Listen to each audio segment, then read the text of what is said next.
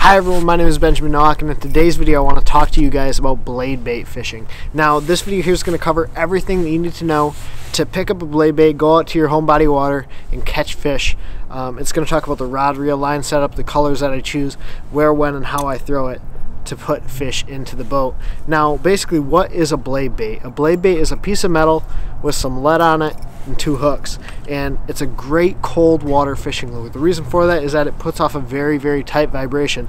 It's not like a lipless crankbait in the sense that it has rattles, kind of intrusive and obnoxious.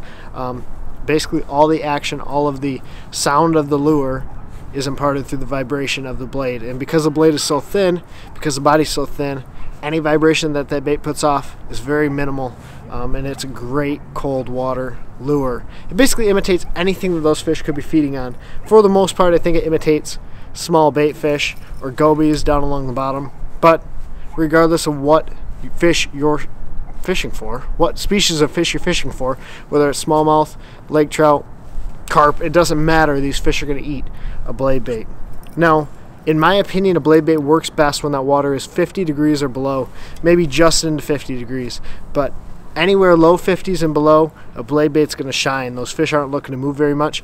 Bass are cold-blooded creatures, so their metabolism slows down. They don't have to eat as much, um, and so they don't really want to chase their meals as far. A blade bait's a great way to put that bait in front of their face for a long period of time and make them eat. A lot of times what I like to do is soak a blade bait, and what that means is let a blade bait sit on the bottom for a long time. And Bass are observant creatures, especially in relatively clear water for smallmouth. They know what's going on around them. So if there's a bait sitting in front of them, if there's a little minnow sitting in front of them, they know that it's there. Sometimes it takes a little bit of sitting the bait there to get them to come over and eat it. So there are three main colors that I like to fish on a blade bait. The first is a silver blade. This is probably my all-time favorite color. Uh, a silver blade works really, really well all over everywhere that I've fished. It basically imitates the little minnows. Um, and just has a really good profile down in the water. But I also fish a gold in a plain in a painted blade. I fish a gold blade bait when I'm fishing anywhere that there's perch, anywhere that there's emerald shiners or little minnows that have more of a gold profile. Um, it also works really well for largemouth bass that are typically feeding on bluegills um, and other small bait fish of that nature. But uh, for the most part, a gold blade is anywhere, anytime that I'm fishing around perch uh, bluegill, or shiners, something that has more of a gold hue. Now, a painted blade, a painted blade can refer to um, a white blade, can refer to a chartreuse blade, but a painted blade is really my go-to in low light situations. When it's really overcast, when it's nasty, when the weather just really isn't like what you'd like to be when you're out there fishing, that's when I would go with a painted blade. A painted blade is going to offer you a bigger silhouette a better image in the water. So when your water color changes or it's overcast or cloudy and those fish can't get as good of a look at your bit at your blade, that's when I'm going to switch up to a painted blade. A white is my favorite color for a painted blade. It just really imitates a lot of things natural in the water column. Uh, I played around with the chartreuse blade a little bit, but for me, white is my main color when I need a painted blade, when I need something to stand out down there in the water. Now let's take a look at my recommended setup for throwing a blade bait. Starting out with the rod. The rod that I like to throw it on is a spinning setup, and this is for all size blade baits up to 3 quarters of an ounce. A spinning setup allows me to throw it on lighter line, which gets the blade activated sooner.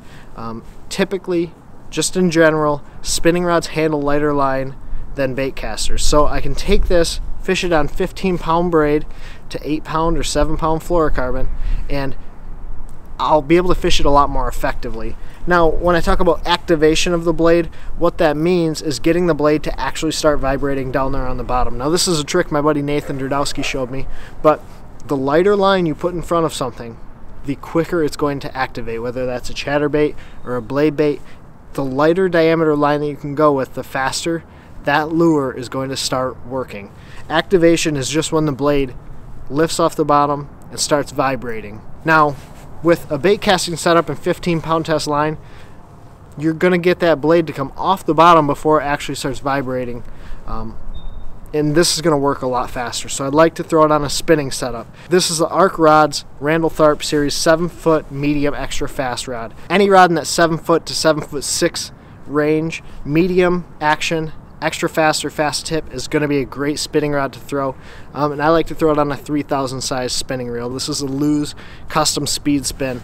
Um, but I like that 3000 size. It manages line a bit better. And when it's cold out, you really need good line management so your line doesn't get all kinked up and coiled on your reel. You also need something with a good drag system because you're fishing and fighting these big fish on little number six treble hooks typically.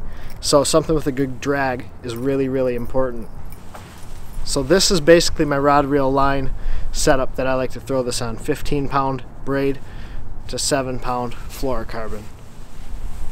Most typically, I'm going to throw a half or a 5 8 ounce blade bait. Now, there are some guys that like to float a blade bait down, and when they say float a blade bait, they're talking a quarter ounce or a 3 8 ounce blade. Um, in deep water, when those fish are suspended up, they'll take and they'll basically float a blade bait. It's going to flutter slow, allow those fish to come up and get it, or they can swim it through the water column. I'm typically fishing my blade along the bottom, so a half or 5 8 on a spinning setup is absolutely perfect for me. A lot of guys go way too heavy on blades, and maybe this is my personal opinion, but because they're throwing it on a bait casting setup, they have to go to like a three quarter ounce blade. I think that's going to lose you some bites.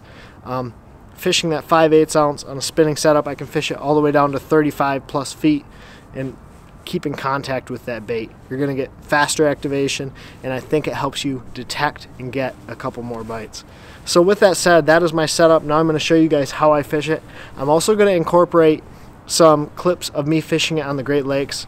Basically my favorite place to throw a blade because this really isn't perfect blade condition. So you're not going to get all the fish catches you might get out of my older footage. So just kind of starting out, I like to make a long cast with my blade and you will notice that it'll get fouled up. Now when I say fouled, your line's to either wrap around your hooks or it's going to wrap around um, that little clip in the front of the blade and that's going to impede the action of the bait. Your bait won't work right if it's fouled. So what you need to do is reel it in, take it off the hooks, and recast. Um, a lot of times what I've noticed is if your blade flies perfectly straight, for whatever reason, that's typically when it's going to get hung. It's not when it's helicoptering. It's when your blade flies perfectly straight. So all I do to fish this bait, cast it out, let it sink to the bottom, and I just make really slow rod pulls. I just barely want to feel that bait lift up, start to vibrate, go back down to the bottom. A lot of times, like I said, these fish are super lethargic, so they don't want to move a long ways. So by just giving it that slight vibration, that slight movement, these fish notice it's there. Oh, I felt like I got a bite. These fish notice it's there. They're going to come over it and eat it. A lot of times they choke the blade. Because it's kind of moving so slowly, they can get a really good ambush point on it and get the entire blade and just crush it. So where do I like to throw a blade? Where do I find it most effective? I like to throw it in areas that smallmouth are feeding on or around rocks. Now it'll work okay in grass, but because it's a treble hook bait, I find that it works best around rock basically areas or transitions.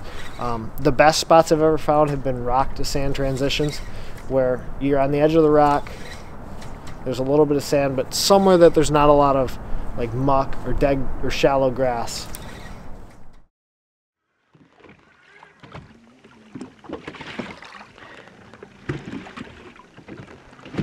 There.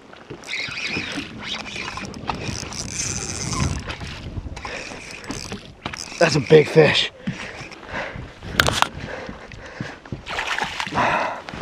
Oh, one hook. Please, baby.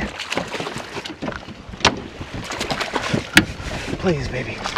Oh! There. There's another absolute giant.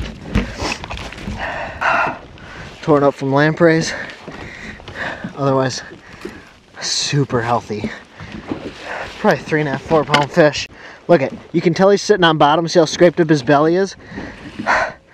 He's sitting on bottom, tail down, looking up, looking for fish, looking for bait fish, looking for gobies, looking for whatever's on the bottom down there that these fish are eating.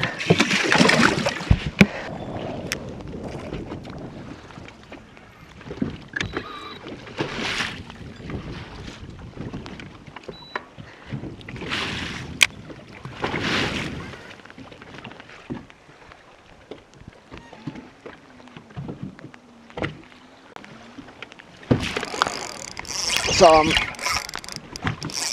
I think that's a big fish. It looks giant on the Panoptix. Yeah. Yeah.